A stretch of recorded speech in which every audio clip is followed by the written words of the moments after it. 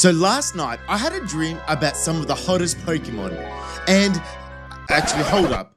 Just to be clear, by hot, I mean like temperature wise hot. You know, like fire Pokemon. Sorry guys, no fairy business here.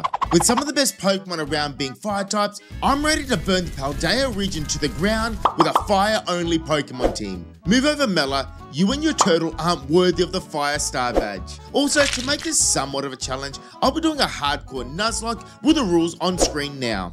By the way, I'm curious. Let me know in the comments who you think is the best fire Pokemon of all time. We leave our bedroom and head down the stairs to be greeted by our uh, um, pet squirrel?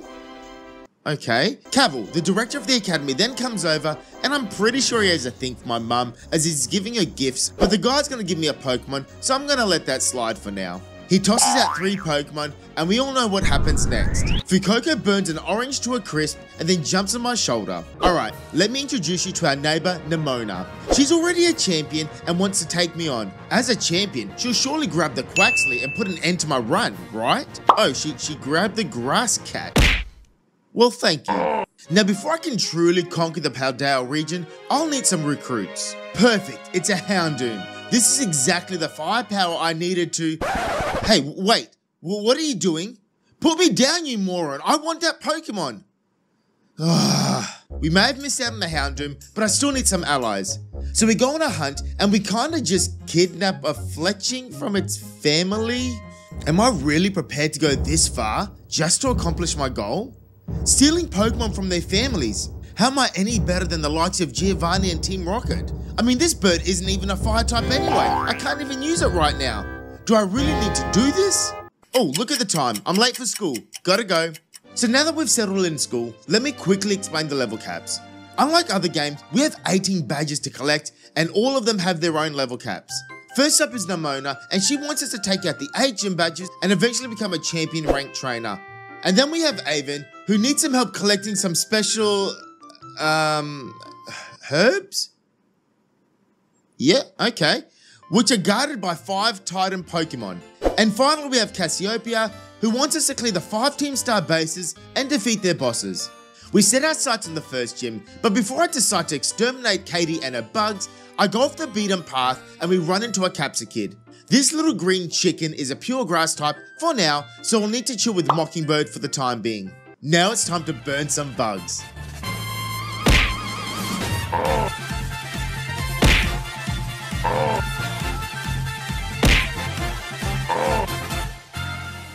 After beating Katy and her bugs, Zuko the sick monster seems to have been so excited with all the bloodshed that he had caused that he evolves into a Crocalor. And I'm just gonna say this, this is the best second evolution out of all the starters. After literally burning her gym to the ground, Katy was still nice enough to take a photo together and give us the gym badge. Next up, we have the Stone Titan to take care of, and if you haven't noticed, our team is not built to take on a giant rock crab. Although we do pick up a char Charcadet along the way, taking on the Titan will only lead to death and misery. But there is a way. We travel through the harsh deserts, even popping in to say hello to the Titan. We then go through Artazon City while ignoring the grass gym. Don't worry, I'll be back for you. Then we jump across the river. Um, let's try that again. Right, uh, excuse me for a second.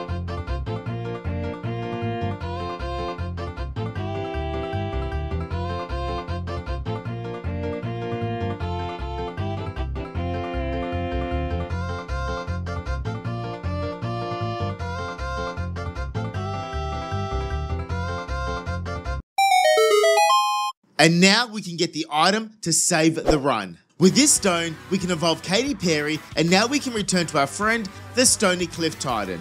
This giant rock crab stands no chance against Katy Perry, who can terastallize and completely destroy it. Although Katy Perry's bloodlust hasn't ended here. After collecting a bunch of Sunfloras running at about one frame per second, we head straight to the next gym. Um, Brassius, uh, I'm not gonna lie, you're kinda creeping me out, mate. Katy Perry, please destroy this gym.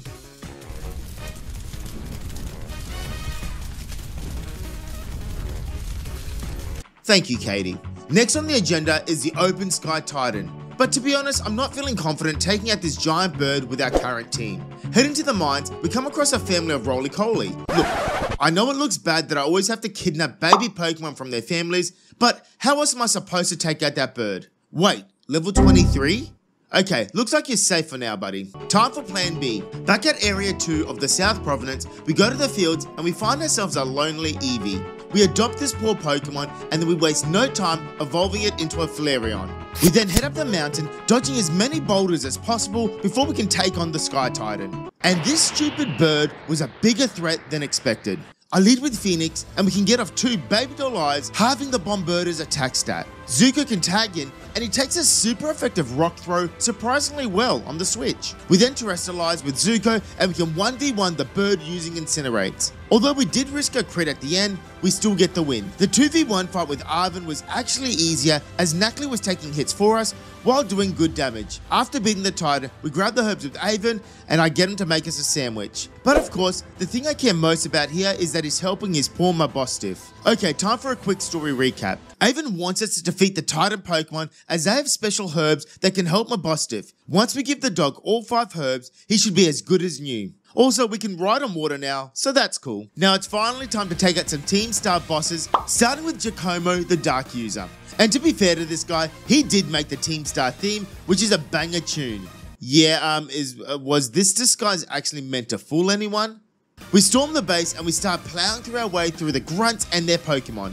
Eventually the boss has seen enough and Giacomo comes out to face us. Katy Perry flamethrowers this tiny Pawniard into smithereens, taking it out in a single hit. The Starmobile is next. Yeah, we fight the car and I can slowly take it out by switching in everyone to chip away at it before the Terastallized Zuko can come in and land the finishing blow. After making the first dent towards Team Star, it's time to continue our path as champion by taking on the next gym. As we make our way there, we come across a glowing Growlithe, and this fire dog also has a unique ground type terraform, adding some diversity to the team. Growlithe barely gets a chance to breathe as I evolve him straight into a powerhouse Arcanine. Then Hot Dog is thrown straight into the action in a fight against Nemona. Both her Rockruff and Paul can do nothing as Hot Dog can take them out with digs. Terastallized Floragato also stands no chance as Hot Dog can flamethrow it straight back to Nemona. Next is Iono, the electric gym leader. And once again, this is the Hot Dog show. He can take out Iono's whole team with flamethrowers and digs one by one. The timing of this encounter was actually perfect. Iono also wants to take a selfie with us, which we allow, and we also grab another gym badge. Yeah, I, I'm sure you're a student, buddy. About 50 years ago, that is. Now, ladies and gentlemen, it's finally time. Mela, you Pokemon rookie, I'm coming for you. Um, actually, let me just track back and catch that car call quickly. Perfect. Get out of my wave, Clive. This one's personal. I bust open the gates of the base and I show no mercy to all the lackeys and their Pokemon as we storm through. Mela then does come out on a Starmobile and finally I can take her out. And to be honest, this battle was actually kind of underwhelming. My underleveled Thomas completely walls their team, and I felt like I built this up to be some epic clash when it was in fact just one of the easiest fights in the game.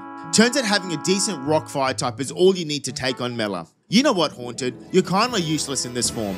Let's fix that for you, bud.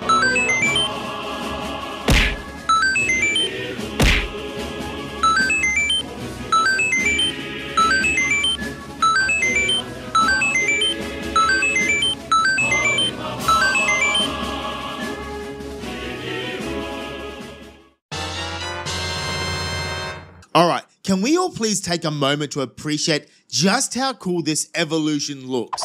Arven's my boss stuff is back in my mind, and we happen to be close to the lurking Steel Titan, so I decide to head that way. Sorry Orthworm, but you're between me and getting Mabostiff healthy, so I didn't have a choice. Arven's Pokemon is getting healthier, and now we can jump higher, so that's kind of a win-win. Next up we have the Water Gym to take on, and well, you'd think I'd be worried, right? Enter Katy Perry. Oh wait, you want me to return Kofu's wallet first?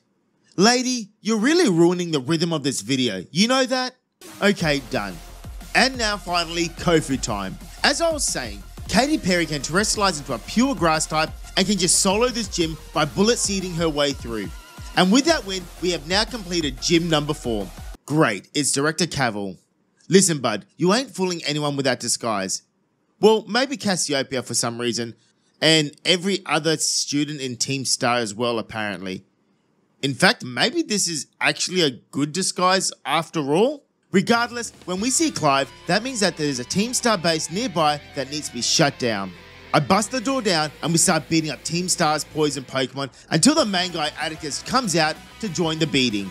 Hot Dog has been feeling neglected, so I let him off his leash, easily one-shotting the Skuntank, Revavroom, and finally the Muk with terastallized digs. The Starmobile does put up a better fight, but it's nothing Hot Dog can't handle. That's another base taken care of, and we're making some serious progress right now.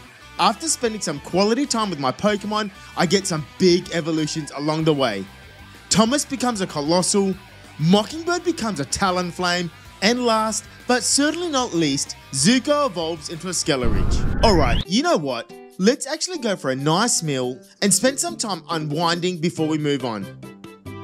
Um, yeah, that's that's right, but no need to yell, bud. Alright, so so they just scream orders to one another across the restaurant, it seems?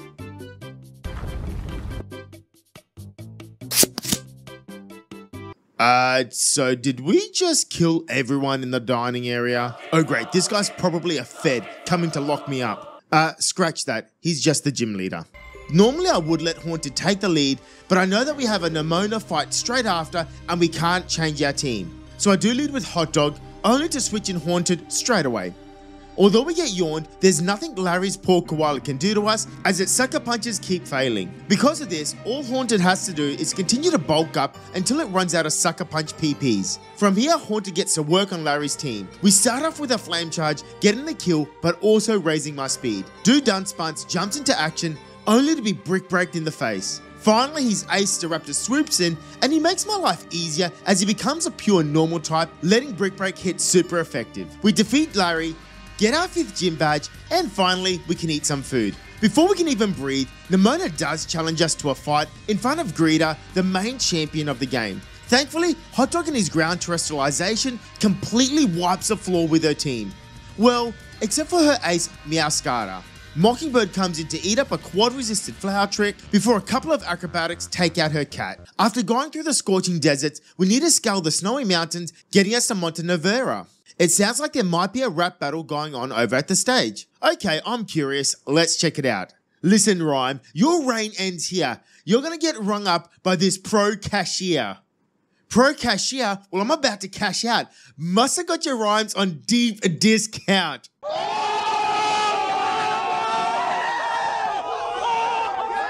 Uh, hold up. What's happened to her eyes? She's just gone full Undertaker here. Now, this is the first gym battle where I actually need to put some thought into my plays. She leads with Mimikyu and Banette, while I have Thomas and Hot Dog out. Hot Dog intimidates both her Pokemon, dropping their attack stats. Then I switch out Hot Dog and bring in Mockingbird. Thomas eats a Shadow Sneak from Mimikyu, and Banette fails the Sucker Punch. Thomas then goes for an Earthquake, breaking Mimikyu's disguise and hurting Banette. We continue this strat until an Acrobatics can take out the Banette and an Earthquake finishes the Mimikyu. Houndstone and Toxtricity are next to switch in, and although we do get an attack boost from the crowd cheering us on, Mockingbird will die to an electric move, so Hot Dog comes back in to double Intimidate again.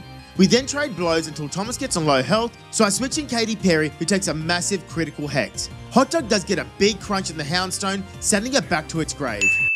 I know, I'm hilarious. And then a final crunch from Hot Dog puts an end to our last Pokemon, Toxtricity. We get a photo together, and of course, our sixth gym badge. Now, you would think that the gym across the road, well, technically across the bridge, would be our next stop.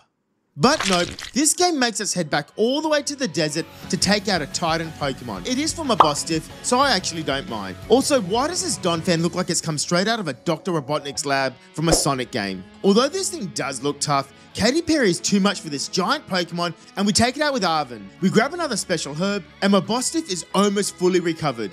Oh, and by the way, we can glide now. I should probably mention that. Great, it's Nemona again. I bet you could use a little warming up before you take on the gym, huh? Actually, I'm fine, but thank you. Oh, we don't actually have a choice. Okay then. Well, let's make this quick, please. Lycanroc, digged. Sliggoo, Shadow Clawed. Pawmot, digged. Meowscarada, acrobatics. Thank you for stopping by, Nemona. Time to play some bootleg Just Dance clone. Haunted, no, please don't dab. My goal is to grow strong and build muscles. Any tips? Do I look like the right person to ask for tips on building muscle? Now we need to take out Tulip and her psychic team. Okay, how does she walk in those shoes, by the way? Haunted takes a lead and terastallizes to lose its ghost weakness and then doubles her attack with a swords dance. She gets up one with Swords Dance, and now she can bring out the broom to sweep. First off, Farigiraf goes down to a Flame Charge, which also boosts my speed. Then it's just Shadow Claws all around as Gardevoir, Espathra, the Egyptian Emu, and even her ace, Terastallized Florges, go down to a single strike. We get Gym Badge number 7, and of course, grab a photo together. Back to the Snowy Mountains we go, and I've just realised poor Zuko hasn't had much airtime in this run. Well, that's about to change real quick. Grusha, the Ice Gym leader, who I first thought was a girl, if I'm being honest, is holding the last badge we need before we can take on the Elite Four. Zuko gets out, and things get real bad real quick. For Grusha, I mean. Frosmoth goes down to a quad effective flame charge while also raising my speed. Beartic then falls to a terastallized torch song, which is the most broken move in the game. 80 base power and will always raise your special attack stat? Okay, what the hell were Game Freak thinking when they made this move? Cetitan the monster actually survives a plus one terastallized super effective torch song. Thankfully, we can eat the liquidation from him and we can take it out on the next turn. Now is the ace Altaria that comes out, which is a waste of everyone's time as one more torch song gets the kill. That's all 8 badges completed, but we aren't quite ready for the Elite Four just yet. Team Star probably think I've forgotten about them as I haven't been to a base in a while.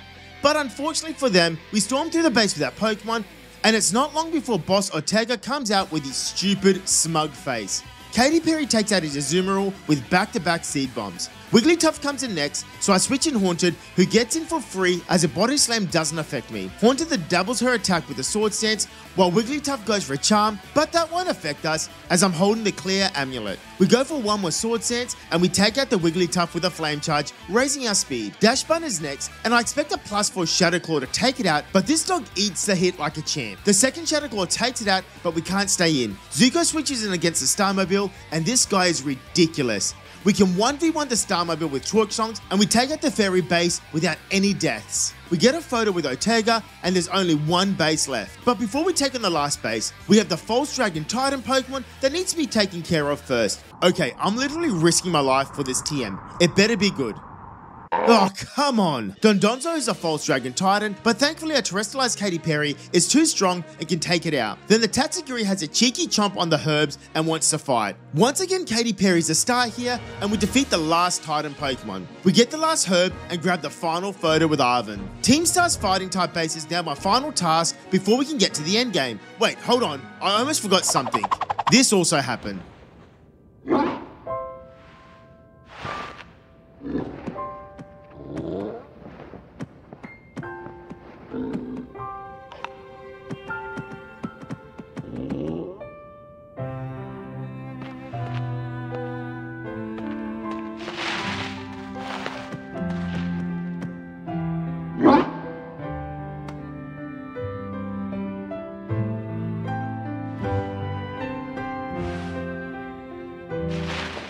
We approach the final base and smash through all the Pokemon thrown in front of us.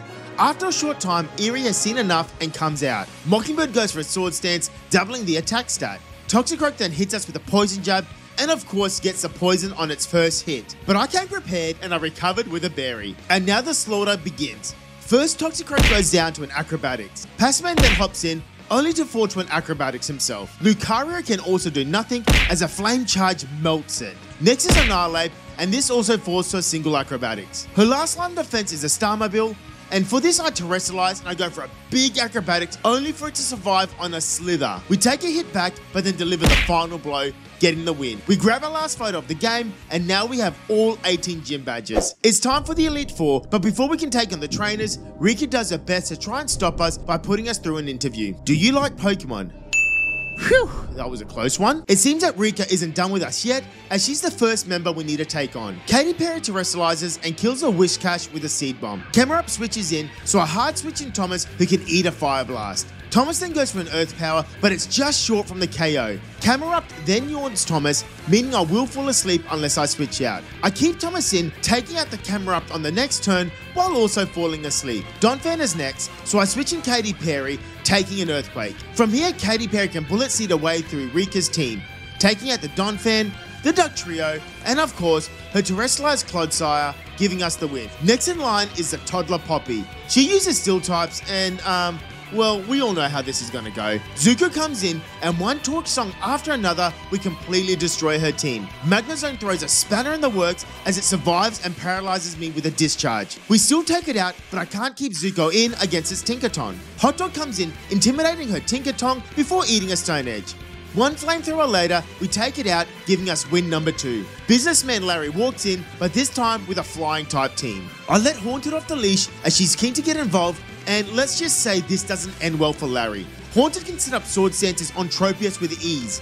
In fact, Tropius makes it easier by setting up the sun, boosting up my fire moves. Every single one of Larry's Pokemon are one-shotted, giving us a clean sweep. The last test before the champion is Hassel and his dragons. Now, I'd love to tell you that this was a harsh test that pushed me and my Pokemon to our limits and beyond. But in reality, Haunted just sets up with Swords Dances and Flame Charges before, well, just watch.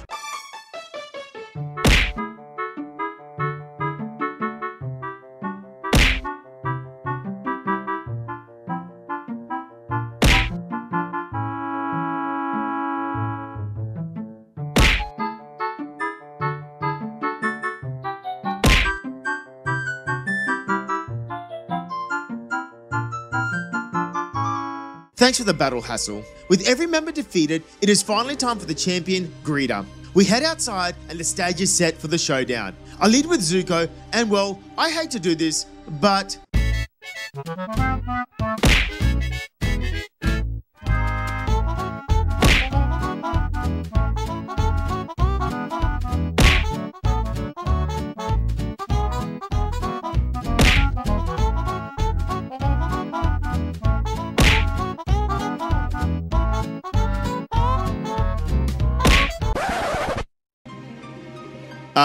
okay, well, that, that didn't go to plan. Although Haunted comes in and gets a kill, it was still a bittersweet victory losing my starter. Wait, wait, wait, don't go. The game isn't over just yet. In fact, the best is still yet to come. First, I evolve Nala into a Pyroar and add it to the team. Then we go to the Lighthouse to take on Arven and his Mabostiff. The plan here is to sweep with Haunted again. Boring. I switch in between Pokemon to get in as many Intimidates off on Greedent using Hot Dog. Flame Body from Mockingbird even gets the burn, making it even easier to set up. Haunted easily sets up, and then from here he just slays through all of his Pokemon without breaking a sweat. We were so close, my boss Mabostiff. So close. Yeah, I'm not sure about that one, buddy. Now we need to take on Director Clavell, and this is where Mockingbird can get some love. Mockingbird sets up with a swords dance while his monkey goes for a yawn, making us drowsy. We go for another swords dance, then Oranguru goes for a foul play, almost taking me out. Mockingbird falls asleep, but I prepared for that by equipping a Chesto Berry. Oranguru, dead. Houndoom, dead. Abomasnow, dead. Polteageist, dead. Amoonguss, dead. And finally, Quaquaval, dead. With Director Clavell defeated, there's only one last person to beat before I can take on Nemona, and that's Penny. I'm just gonna cut to the chase. This is another Mockingbird sweep by setting up on Umbreon. But I promise, however, that this is the last battle that I'll use setup strats on the first Pokemon and sweep through the game, as even I was finding the game too easy at this point. I know it's not cheating, but there was no real tension in the last few fights, making them underwhelming. We head to the center of the academy, and there is Nemona waiting. And not only Nemona, but every trainer with status also. She leads with Lycanroc, and I have Hot Dog out. Hot Dog can take out a Lycanroc with a big terastallized dig. Goodra is next, and although we take massive damage from a muddy water, Two digs from Hot Dogs gets the kill. Now it's Pawmot, and this poor thing never stood a chance as another dig destroys it. Dudunsparce is next, and Hot Dog gets it to low health before Mockingbird can come in and take it out. Orthworm comes in, and a couple of flame charges takes it out. Last is Meowscarada, and one last acrobatics takes it out, getting the kill and beating Nemona for the last time. And now finally, we can make our way to the true final boss of the game. We meet with Arven, Penny and Nemona at the entrance of Area Zero, and apparently my Miraidon is a four-seater all of a sudden as we all jump on it and fly down to the bottom of Area Zero. As we make our way down closer to the Professor, we come across one last encounter, Volcarona. This thing is an amazing Pokemon, so I catch it and I add it to the team. At the deepest depths of Area Zero, we can access the lab where Professor Turo is waiting for us. Oh, look, it's another Miraidon. Sheesh. This one really looks down on my one like it's some sort of pathetic excuse of a Pokemon. Even just before it enters the lab, it turns around and looks at us with disgust. I really can't wait to beat that thing up. Huh? What's wrong?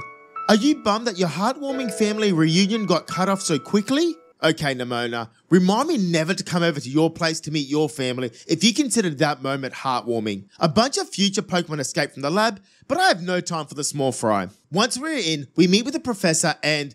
Wait, what?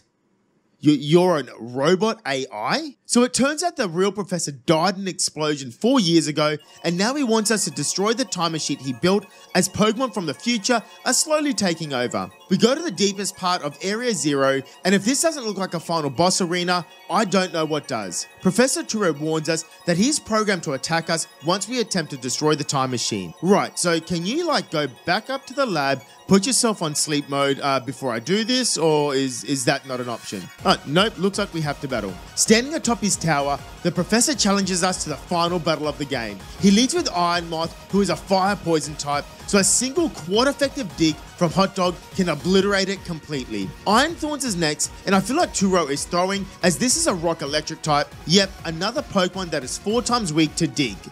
See you later, buddy. Next up is Iron Bundle, a water ice type, and this thing outspeeds and hits me hard with a water pulse. Hot Dog responds with a Thunder Fang, but it only does half damage.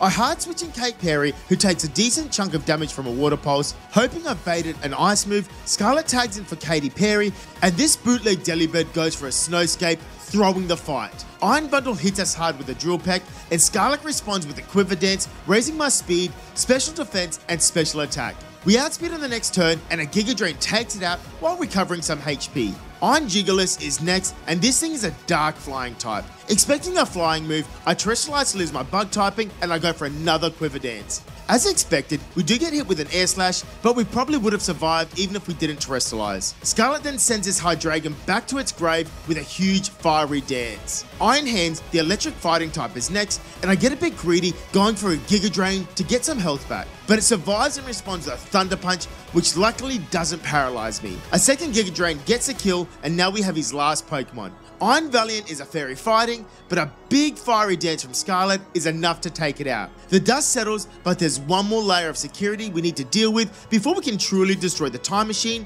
and that is the other Miraidon. Our Pokeballs don't work, so we get a 1v1 battle between the two Miraidons. With the power of Plot Armor, our Miraidon finishes off the other one with a big terastallized dragon type Tera Blast, getting its revenge and also saving the day. And with that, we have beaten a fire type only Nuzlocke of Pokemon Violet.